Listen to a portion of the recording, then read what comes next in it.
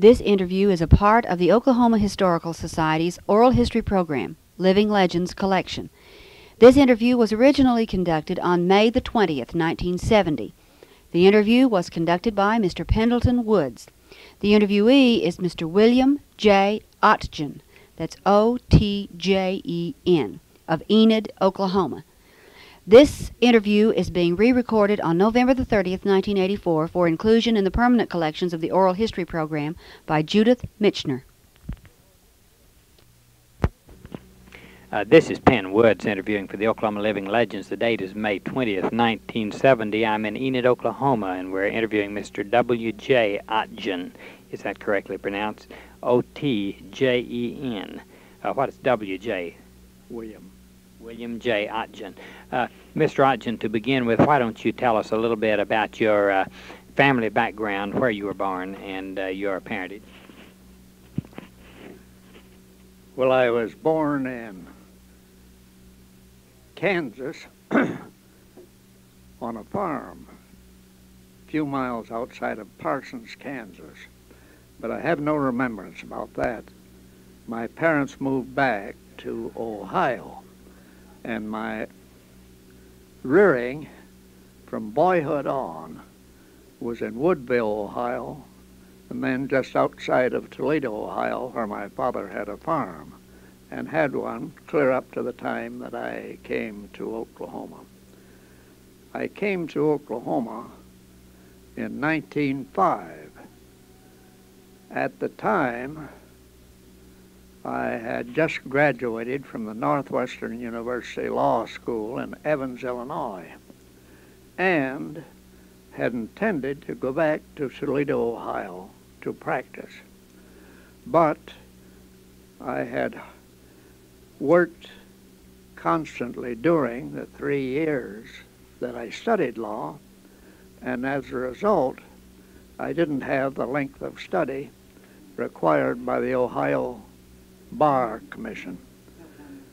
I came to Oklahoma expecting to practice as a lawyer for one year in Oklahoma, which would make me eligible for the bar examination in Ohio.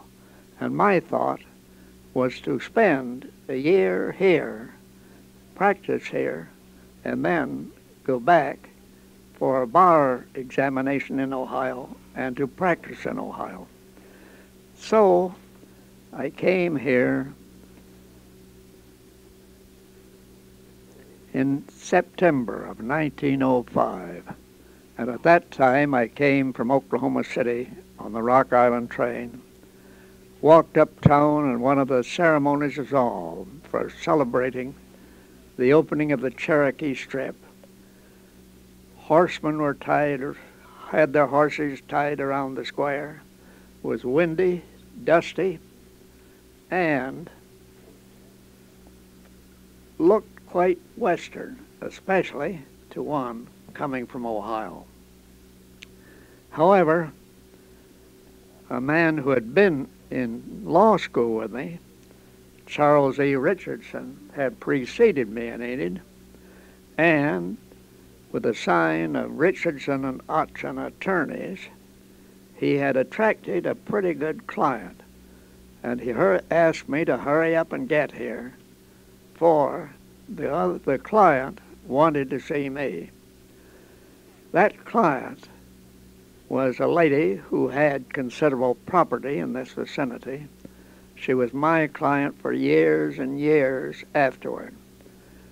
After I had practiced in Oklahoma for a year, I had quite a little business, nothing like the lawyers in Enid make now, but quite a little for that short period. And I thought I'd postpone the return to Ohio, and I've been returning it ever, postponing it ever since. At the time that I arrived here, I only knew two people in Enid. One was this lawyer, Charles Richardson. The other was Winfield Scott, who I'd met in the university and who practiced here for many years, but became Commissioner of Pensions during the Coolidge administration. And he and I were partners for several years. When he became county judge, I first practiced by myself, then became associated with Robertson Curran, a leading firm here, then West Scott and Otjen, and Charles West, one of the partners, became Attorney General of Oklahoma. Winfield Scott became county judge of Garfield County, and I kept on in the practice in Enid. Paragraph.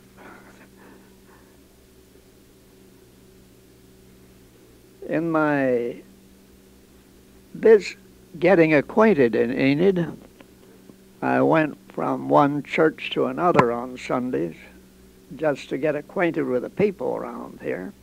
And I found very good churches here, Methodist. And when I went there, I saw our then county judge, James B. Cullison, who was with his oldest daughter, June Cullison, and I met June in that church, and after a year or so, we were married and were living together since. Have had four children, now grown, two of them in Enid. One, my son, William J. Otjen Jr., and Mrs. Mary Barnes, B A R N S, who lived in Fort Wayne, Indiana for many years until her husband passed away. Then she returned to Enid. When I came to Enid, they had just been discussing selling the school land, and they sold what was called the school land in 1907. I bought one of those farms about east of Enid. It is now part of our Woodring airfield. I sold half of it to the airfield and sold the other half later on. But I still have one of the farms acquired there just east of that airfield out at Enid. We recently had a test for oil completed there. I am hopeful, but don't know just what will develop. As for myself, I served as city attorney of Enid for two years during the service of Governor Haskell in Oklahoma. I was appointed Assistant Attorney General took charge specifically of a grand jury at Watonga, traveled back and forth by train from Enid to Watonga during the period I was conducting my work there. I have seen Enid develop from a very ordinary western city into the busty, bustling active place that it is today. In 1922, I was elected to the Oklahoma House of Representatives and served two years there, and then was elected to the Oklahoma State Senate and served eight years in the Oklahoma State Senate. During my period in the Senate, the Oklahoma flag was presented to me as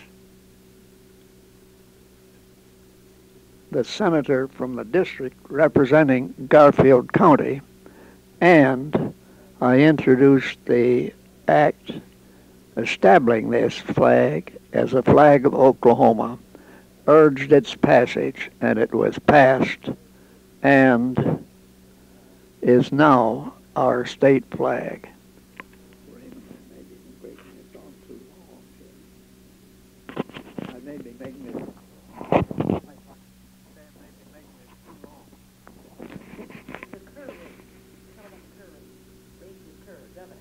Oh. Later on, in 1942, I was nominated by the Republicans as a candidate for governor of Oklahoma. My opponent was Robert S. Kerr, and the election was rather close.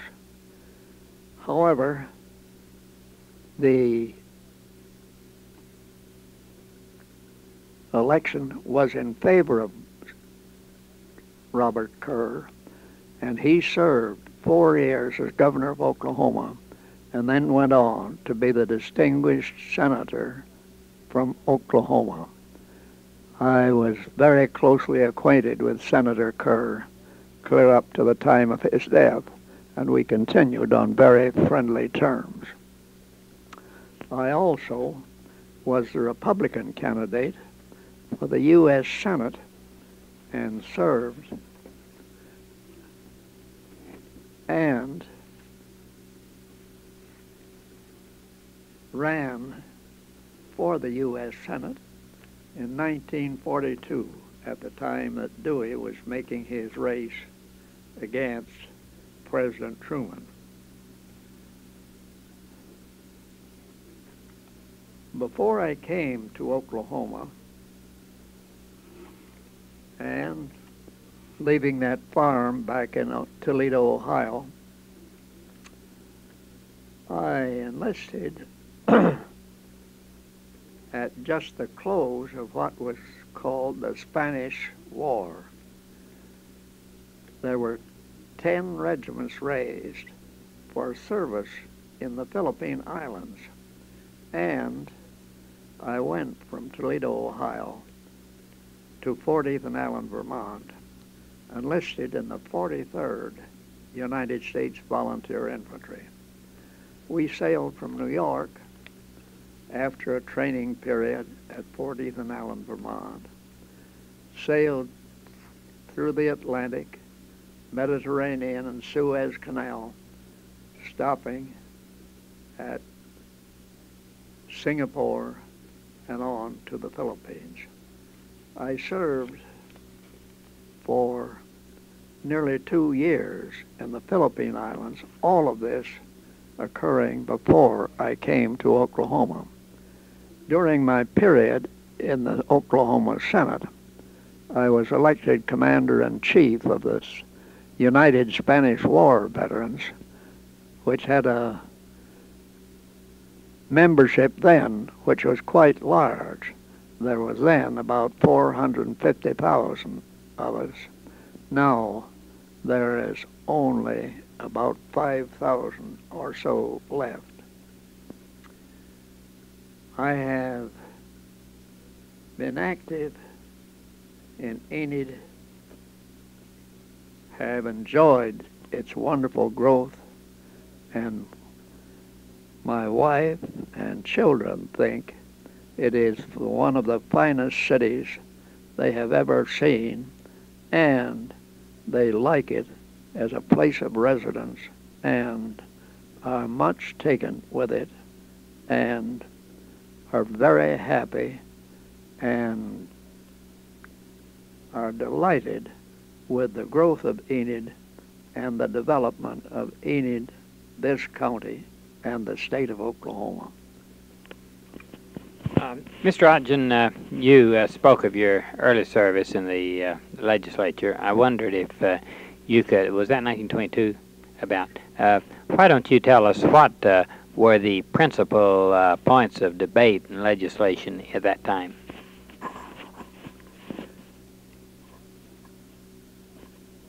About that time we started hard surface roads in Oklahoma, and it was the beginning under the State Highway Commission. There was much legislation affecting the highways, and during that two-year period, Jack Walton was elected governor at the same time I was elected to the Sen- uh, to the House of Representatives. There was considerable controversy developed between the members of the legislature and the governor, and it resulted in impeachment charges being filed against the governor. I participated in the impeachment proceedings as one of the members of the board in charge thereof, and the impeachment resulted in the removal of Governor Walton and Edwin Trapp, then lieutenant governor, became governor. Trapp became very active in the hard surface roads of Oklahoma. And during the rest of the term, in the next two years, at that time, I had become a member of the Oklahoma Senate. He, during the last two years of his administration, the first road systems in Oklahoma were completed, and Prince Gentry was a member of the Highway Commission, the Oklahoma Highway Commission, from Enid, Oklahoma at that time.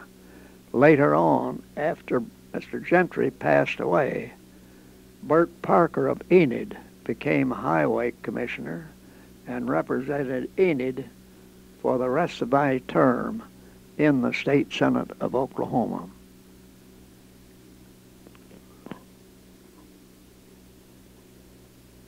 I had been a member with Mr. Frank Carter, and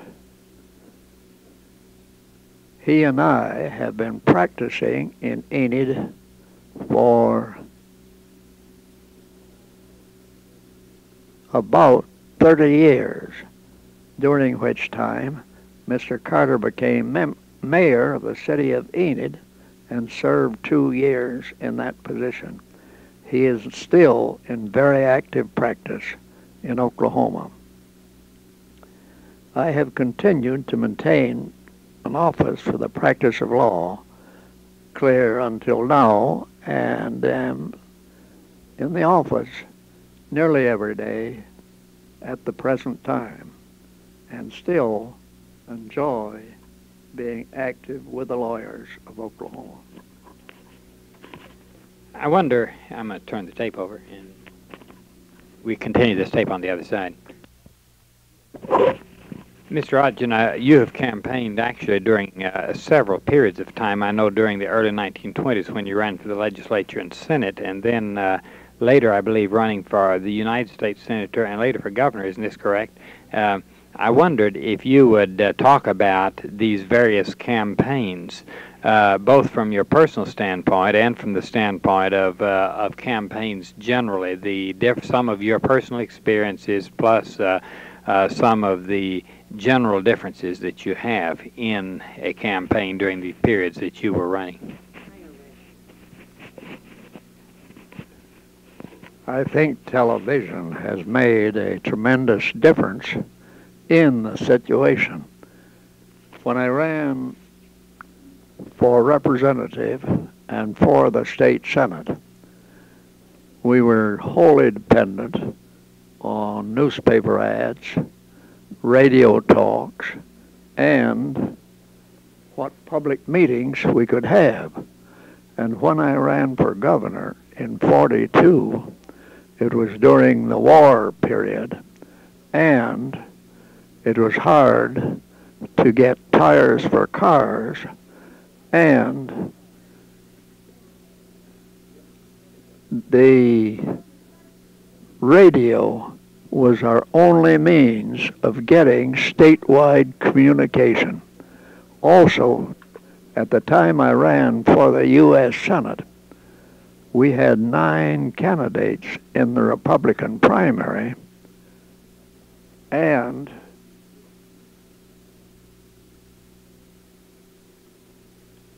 I was nominated in the first primary without what we call the runoff. The entrance of television made a tremendous difference in Oklahoma, and I think it has been of great importance in the development of an active Republican Party in Oklahoma and the making of Oklahoma a two party state as it is recognized today. Television didn't become much of a factor in the races until after my races had been completed. But I think it has been a very strong factor in the election since that time. Mr. Otjen, over the over the years, Mr. Otjen, I know that you have uh, been acquainted with and have worked closely with a number of people prominent in politics. Um, I would like to have some of your comments uh, recollections, and if you know any stories or anecdotes or experiences involving any of these people that might give us some sort of an insight into their personality, either their political or personal personality. Uh, uh, I'd like for you to do so. We might start back with the very earliest people that you may have been in contact with, such as uh, Dennis Flynn and some of the, maybe Robert Owen, if you knew him, others in the very earliest period.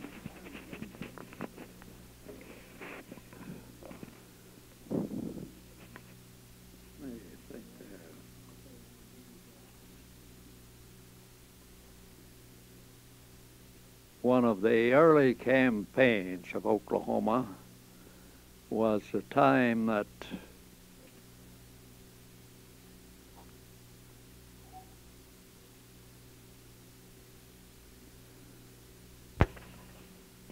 At the time of the Harding campaign in Oklahoma, I was very closely associated with Frank Parkinson of Enid, who was a Ford automobile dealer in Enid and Lawton. Parkinson was state chairman, had me down to Oklahoma City at various times in there. And I remember the speech of uh, Harding in Oklahoma City. At that speech, there were there had been a bitter campaign in the primary at the time of the campaign, John McGraw, a Tulsa banker, was national committeeman.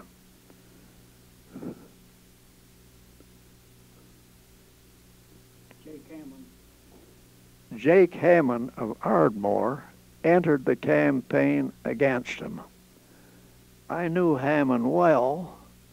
In fact, I visited with him in Oklahoma City frequently, where he was in there on pol- political campaigns, and during that summer, Hamon, in his candidacy for state committeeman, ran against McGraw.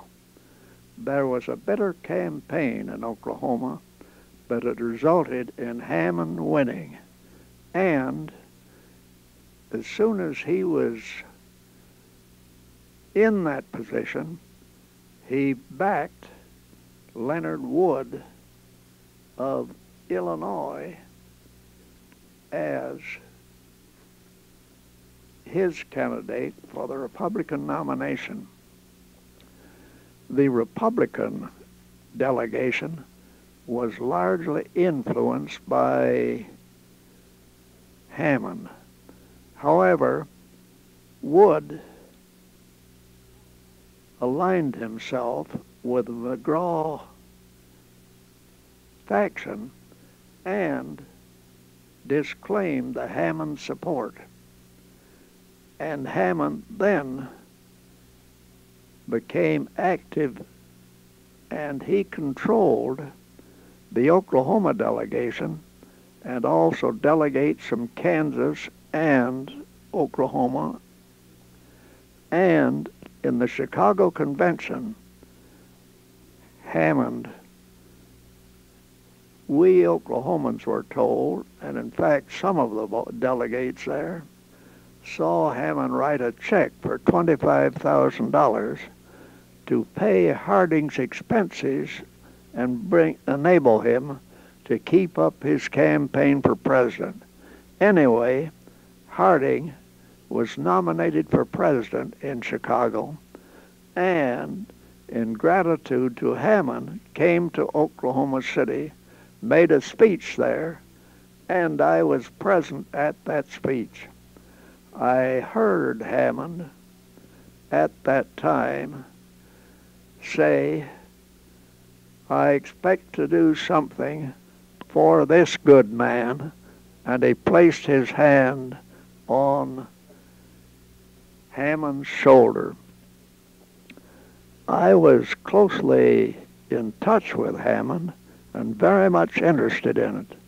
But at that time, he was shot by his secretary and in, lived for several days afterward, but passed away before Harding was ever installed as president.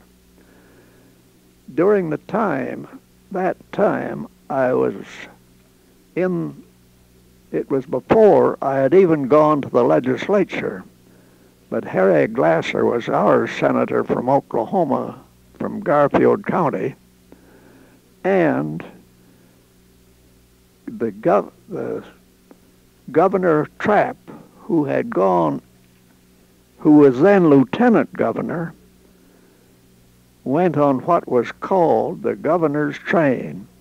They invited me to go with them, and Harry Glasser and I, together with the Adjutant General of Oklahoma, Baird Markham, Assistant Attorney General, and quite a delegation, Wallace, who afterward became federal judge, we went on a special train to Mexico City, and while we were on that trip, the shooting of Hamon occurred and he passed away before we returned from that trip to Oklahoma City. I was closely associated with Alexander, A.C. Alexander, who was Republican chairman for a number of years, Big Jim Harris of Wagoner, who was an active Republican leader, Bill Skelly of the Skelly Oil Company was a Spanish War veteran, more or less interested with us Spanish War veterans at that time, and there were quite a number. When Teddy Roosevelt became president, he made Frank Frantz, who was also a Rough Rider, postmaster at Enid, and later on made him governor of the territory of Oklahoma. Frank Frantz, of course, came from Enid. And I was in charge of the Spanish War veterans in Enid, and we installed Frank Frantz as a member of our Spanish War veterans camp here in Enid. Charlie West, who later became Attorney General of Oklahoma, was also there, was also a member. Charlie Hunter, who was clerk of the federal courts of the territory of Oklahoma by appointment of Teddy Roosevelt, was also with us there. And Charles Crager of Muskogee, a Spanish War veteran, was elected to uh, the Congress during the Harding landslide. And Crager served for two years there. He passed away about four or five years ago. The Spanish War veterans in Oklahoma became quite an active crew. One of them was federal judge of the Eastern District.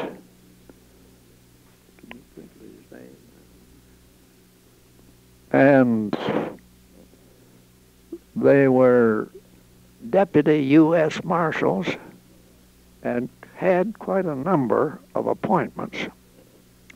But in our later years, Lew Wentz became national committeeman and largely influenced the Republican politics in Oklahoma. I was quite active with Lew, and he was Republican National Committeeman from Oklahoma during the time that I was running for governor and also for the U.S. Senate. Lew Wentz was active as chairman clear up to the time of his death. And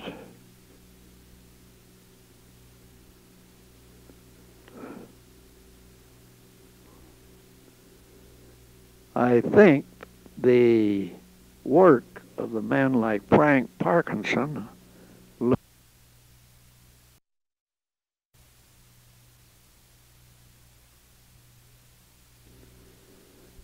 I think the work of the men like Frank Parkinson, Lew Wentz, Jim Harris, A.C. Alexander, Raymond Fields, and Wirt Franklin, Wirt Franklin, Harry Glasser, Johnson at Ardmore, Yes. Also, when I first came to Oklahoma, Governor Ferguson was governor of the territory, and he was succeeded, as I recall, by Frank Frantz.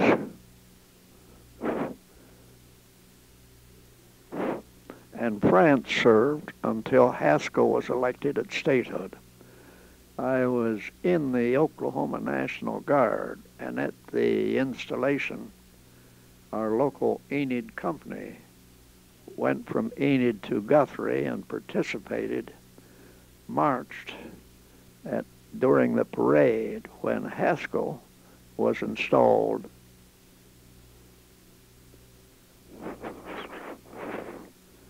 as governor of Oklahoma. Tell us something about Haskell's administration was a difficult one in that it was the first governor over statehood and there was a statehood election and as we all know now Haskell ascertained that Oklahoma City had won the election as capital of Oklahoma, and he and the Secretary of State simply removed the seal from Guthrie and moved to Oklahoma City and declared the Huckins Hotel as a seat of government in Oklahoma City, for we had no state capital or anything at that time. Haskell had to really mold the state government because in the territory, of course, the territory of Oklahoma was simply the western part of Oklahoma. And taking on the Indian Territory portion, we had much more of a territory to look after and a great change in the government. As I recall, when Frank Frantz was governor, W. Cromwell of Enid was his attorney general. And the, there was just one attorney general. The attorney general didn't have the group of assistants that has developed in the later years. Charles West of Enid was elected attorney general in the first election, went into office at the same time Haskell went in. And Charles West had been my partner in the practice in Enid, so I knew him well, and I was in his office frequently at the state capitol.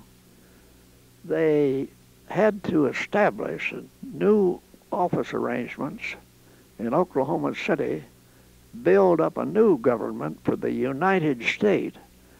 And there were many questions which arose in that early statehood period. Steer, questions of the power of state officials. I remember that Charles West was quite interested in a bank case in Oklahoma City, and he brought that case without the direction of the governor. And the governor ordered him to stop the continuance of it, and he refu- West refused. The case was appealed to the Supreme Court, and the Supreme Court held that the Attorney General could only proceed at the direction of the governor. And West had to seize this bank case in Oklahoma City. Senator, uh, during your career, I am sure you were well acquainted with uh, Bill Murray, the president of the Constitutional Convention, the first Speaker of the House, and after Oklahoma statehood, as a congressman and later as governor. Is that correct? That is correct. When I went to Oklahoma City, Bill Murray was retiring there as governor. I mean, Murray was still in. He succeeded Holloway when Holloway went in.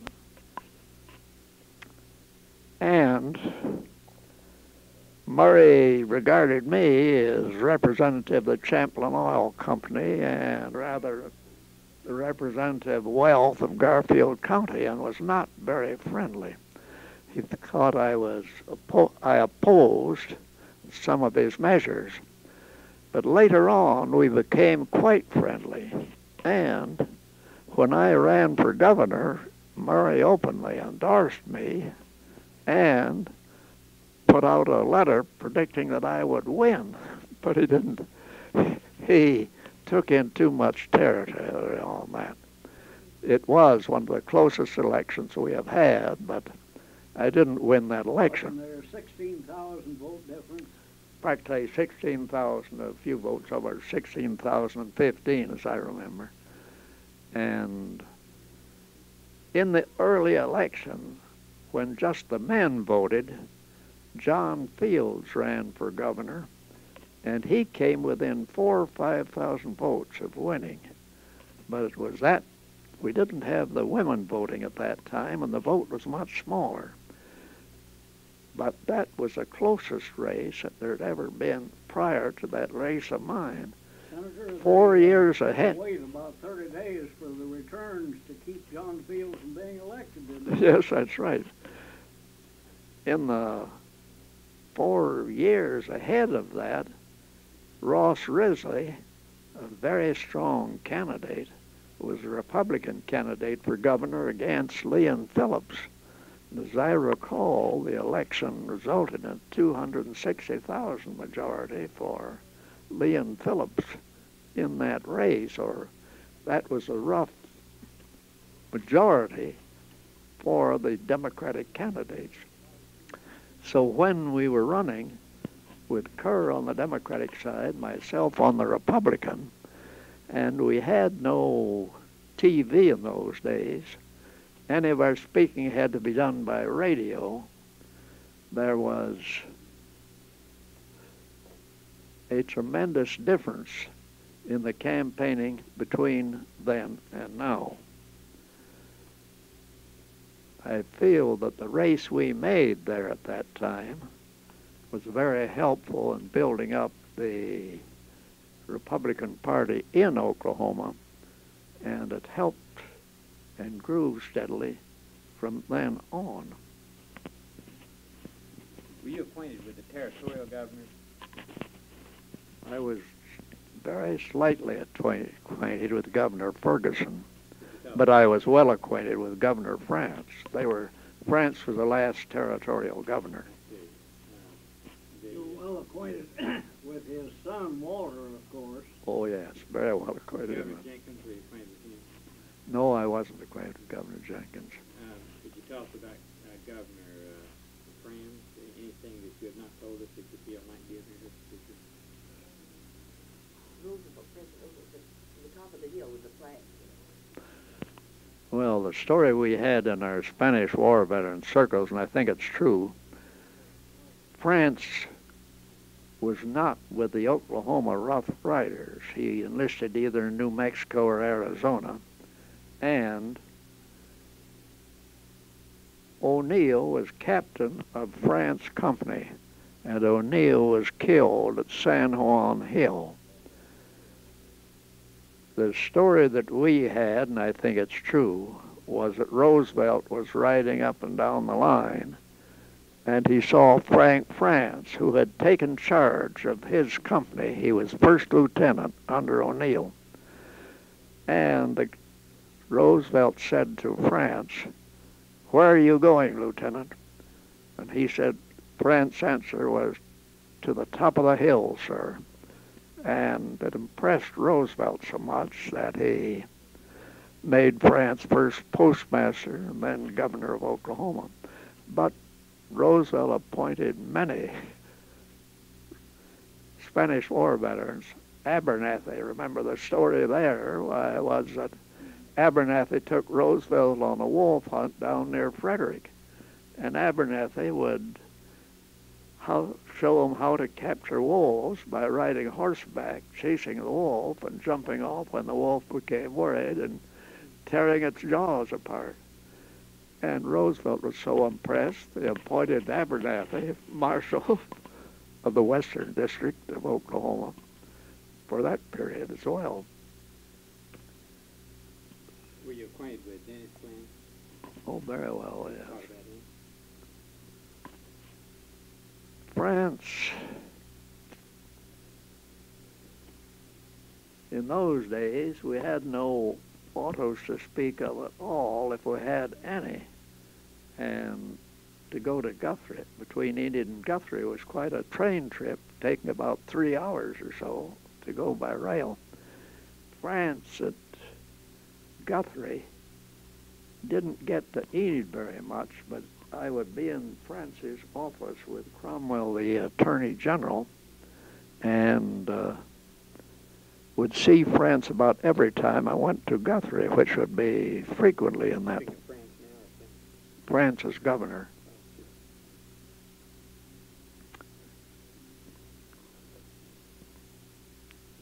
I knew Frantz and saw him frequently, clear up to the time that he passed away. He was in Tulsa during the later years of his life. How about Robert Owen? the senator.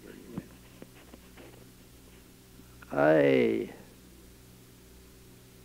knew Owen for, from visits in Washington, but came more interested with him during the campaign when uh, Harding was running for election. The uh,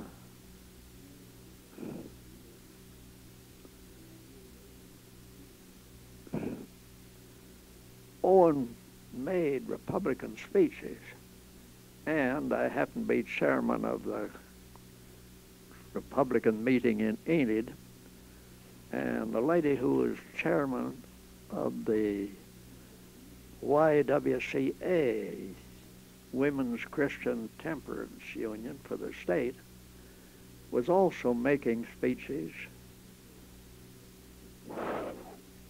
Let's see, that was during the Al Smith Hoover campaign, though I'm getting off my tracks here on that. What about, uh,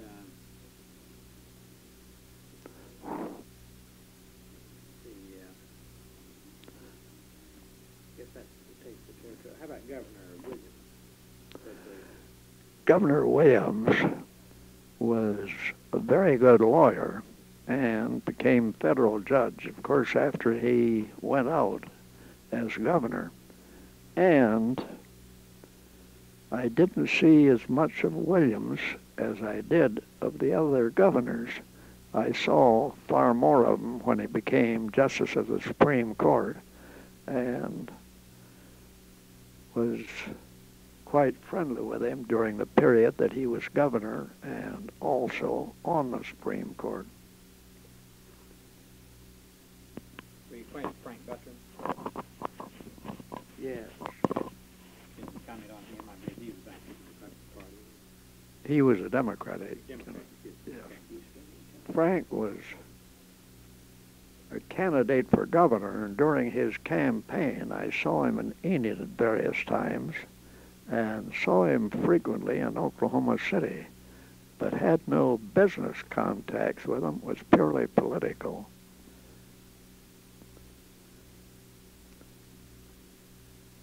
In the speeches that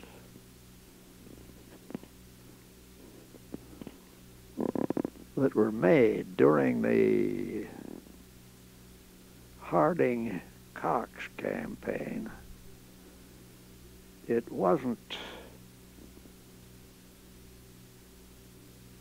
We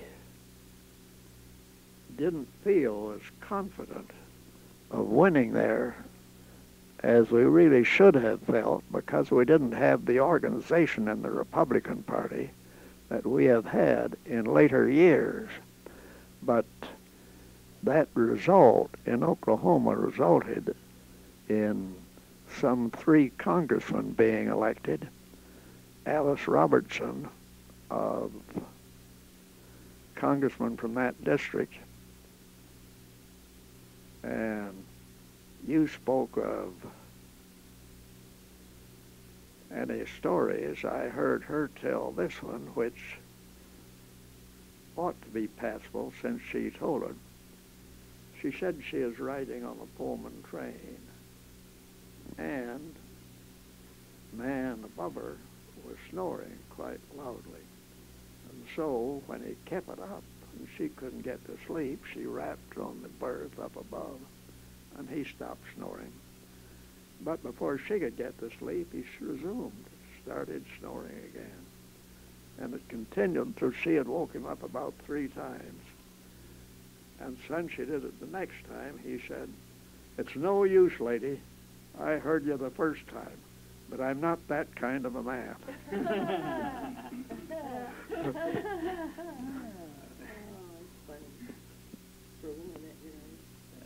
that we had out to our house the president of the YMCA, the Women's Christian Temperance Union, and she talked to Mrs. Hodgson about going in the basement, pressing out some clothes or so, and Mrs. Hodgson told her to go ahead. And Mrs. Hodgson was dumbfounded when the colored girl told her that she said, Mamie, where's that, what's that odor there? And the colored girl said, why, that's Mary's home brew. Mary here was just about 10 or 11 years old at that time, and she'd bought a package of some brew she could manufacture a soft drink out of, and she had a big jar, and she'd put it to work in that, and that yeast had overflowed the jar, and the president of the WCTU went down there. Mrs. Hodgson was horrified to find she had to smell that brew and see that big jar bubbling over there with it. Mr. Otjen, we certainly appreciate very much the opportunity to visit with you on tape. It's very, very nice. Oh, I think you've got some good stories.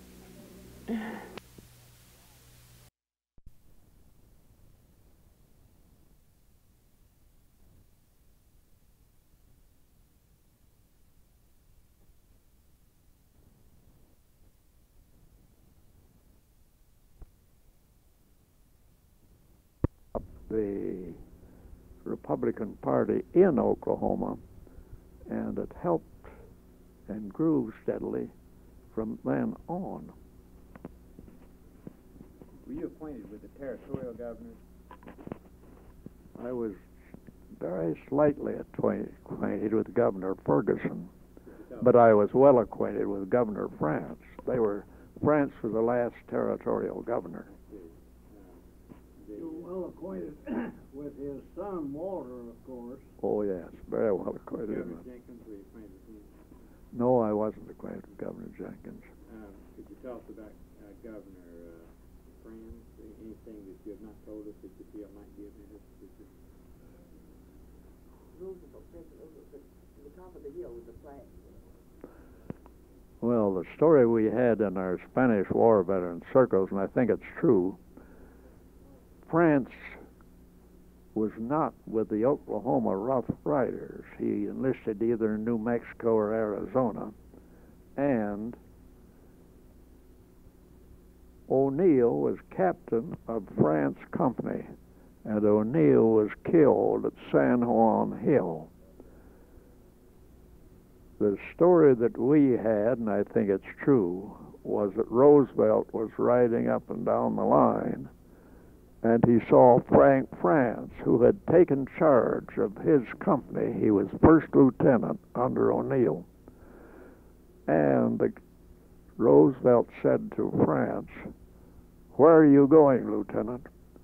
And he said, Frantz's answer was, To the top of the hill, sir and it impressed Roosevelt so much that he made Frantz first postmaster and then governor of Oklahoma.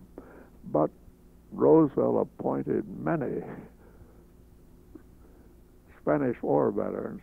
Abernathy, remember the story there was that Abernathy took Roosevelt on a wolf hunt down near Frederick, and Abernathy would how, show him how to capture wolves by riding horseback, chasing the wolf, and jumping off when the wolf became worried and tearing its jaws apart. And Roosevelt was so impressed, he appointed Abernathy marshal of the Western District of Oklahoma for that period as well. Were you acquainted with Dennis Franz? Oh, very well, yes. Thought about him? Frantz. In those days, we had no autos to speak of at all, if we had any. And to go to Guthrie, between Enid and Guthrie, was quite a train trip, taking about three hours or so to go by rail. Frantz at Guthrie didn't get to Enid very much, but I would be in Frantz's office with Cromwell, the Attorney General, and uh, would see Frantz about every time I went to Guthrie, which would be frequently in that Frantz? Frantz's governor.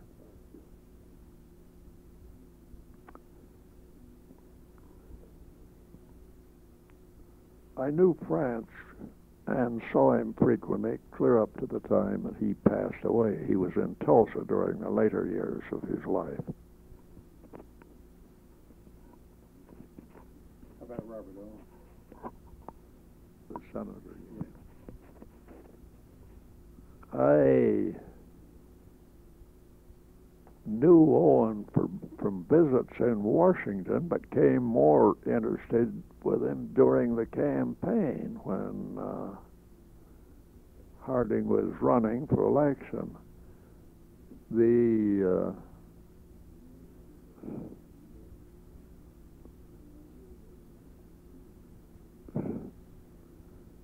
Owen made Republican speeches, and I happened to be chairman of the Republican meeting in Enid, and the lady who was chairman of the YWCA, Women's Christian Temperance Union for the state, was also making speeches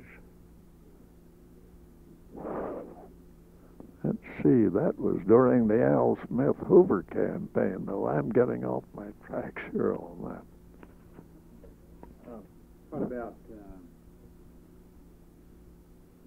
Uh,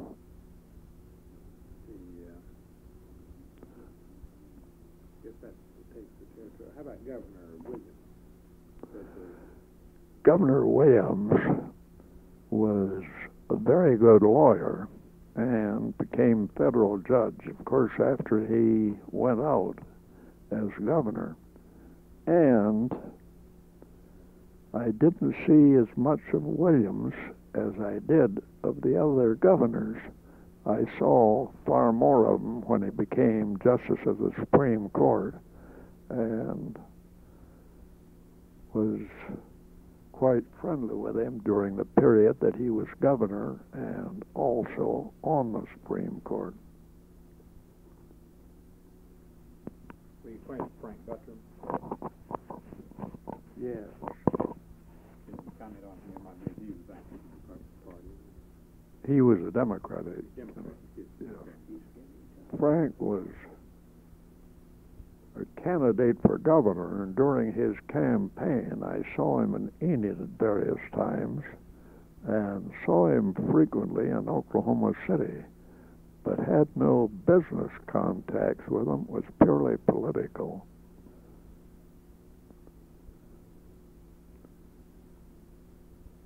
In the species that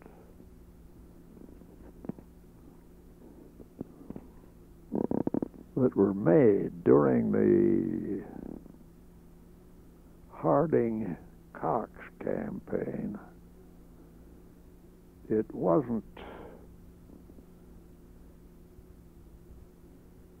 we didn't feel as confident of winning there as we really should have felt because we didn't have the organization in the Republican Party that we have had in later years.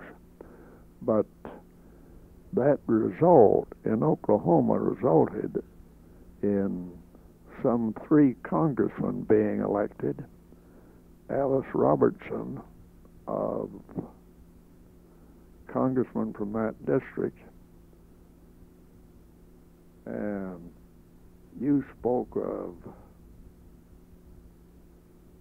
any stories. I heard her tell this one, which ought to be passable since she told it. She said she is riding on a Pullman train, and man above her was snoring quite loudly. And so when he kept it up and she couldn't get to sleep, she rapped on the berth up above, and he stopped snoring. But before she could get to sleep, he resumed, started snoring again. And it continued until she had woke him up about three times. And since she did it the next time, he said, It's no use, lady. I heard you the first time, but I'm not that kind of a man.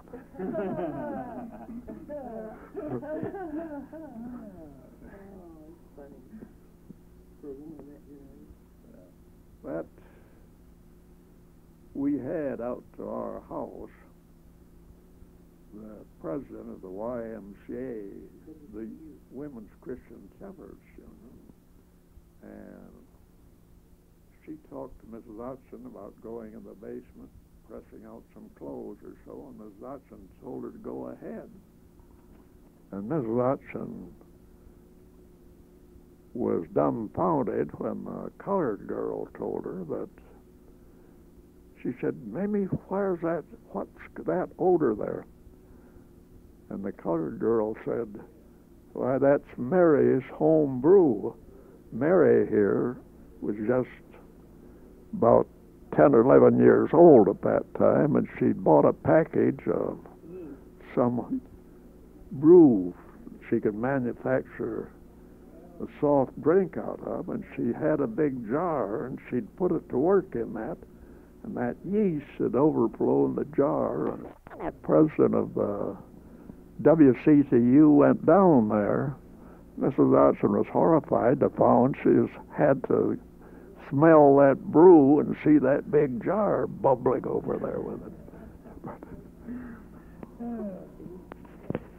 Mr. Otjen, we certainly appreciate very much the opportunity to visit with you on tape. It was very, very nice. Oh, I think you've got some good stories. Yeah.